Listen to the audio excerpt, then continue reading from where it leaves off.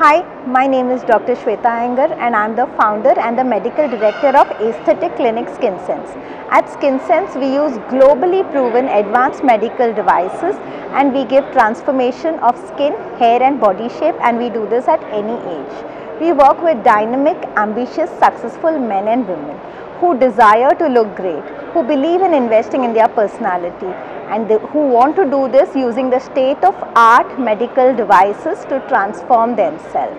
And by transforming themselves, they continue to make a great impression in every situation. They take more chances, they are more successful, and so they live a very happy and fulfilled life.